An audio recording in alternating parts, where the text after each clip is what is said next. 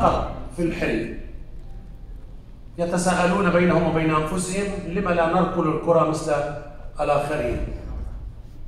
لم يستسلموا حاولوا اجتهدوا لكن أحدا لم يكن يراهم. إلى أن شاء القدر إرادة الله عز وجل أن تدخلهم من الباب الواسع إلى حيث عالم الساحرة المستديرة. محمود شاب مصري من ذوي الساق الواحدة. كان هناك في ملعب برج العرب يتابع مباراة مصر والكونغو. جاء الفرج مع اللقطة الأخيرة مع ركلة جزاء سجل محمد صلاح الكرة في الشباك وأعلن أن بطاقة السفر إلى موسكو من نصيب مصر. ماذا فعل محمود؟ خطف الأنظار كلها بساقه الواحدة وعكازيه. وارتقى إلى السماء شاكرا ربه أن مكنه من فرحة حقيقية هو وشعب مصر. النهارده كان احتفالية جميلة آه، وكان لازم نكمل هذه الاحتفالية الجميلة باحتفالية أجمل شوية. آه، هو وجودكم وجود آه، يعني نوع جديد من الرياضة. اللي أنا من الأول كده هسجل اعتراضي. أنا لست معترفا بالمقطورين الاسم ده لو سمحتوا نلغيه تماما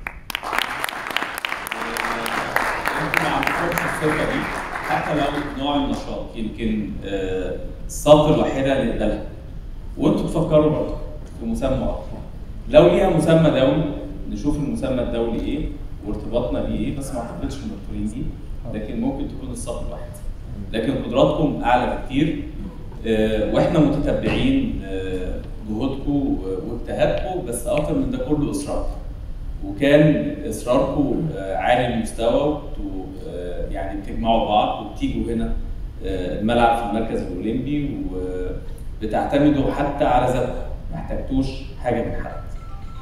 لكن إصراركم ده أدى إلى يعني إن إحنا نكون موجودين جنبكم وإن إحنا كمان بتوسعنا الكبير لكل الفئات في المجتمع لممارسه الرياضه وده مش جاي من فراغ لكن دايما في توجيهات القيادة السياسية في قامة الرئيس عبد الفتاح السيسي بأن الرياضة تكون في كل مجال وكل مكان ولكل ولاد مصر.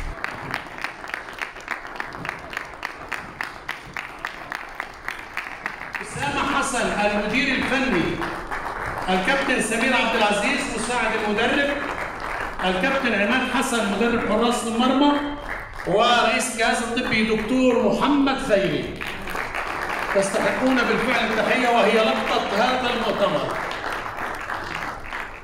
مش هقول كلمة على قد ما أنا هحكي حكاية بسيطة جدا. أنا بيربطني علاقة صداقة وأخوة يعني مع حبايبي وأصدقائي كباتن المنتخب كابتن سيف سلامة وكابتن عبد الله وكابتن محمود. آه، إحنا بقالنا حوالي أربع سنين أو أكتر تقريبا بنحاول نوصل لحاجة معينة إن إحنا الشباب بيلعب كرة قدم بشكل رسمي هو ده حلمهم وده حق مشروع على أعتقد لأي بني آدم. آه، حاولنا كتير. آه، اجتهدنا عملنا اللي علينا. آه، دخلنا أندية بدأنا نتكلم لحد ما طبعا جه معالي الوزير دكتور أشرف. إدانا الصلاحية وإدانا الفرصة إن إحنا نقدر نتواجد بشكل رسمي ووجهنا على اللجنة البارالمبيه وقابلت الدكتورة حياة خطاب.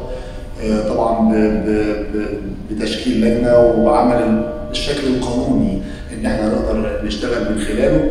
ولكن في الآخر إحنا آه، دخلنا أندية كتير آه، حاولنا كتير عايزين نلعب كورة. الشباب حلمهم إن هو يلعب كورة. وبالمناسبة دي رسالتي وأنا ما عنديش أي أهداف أخرى.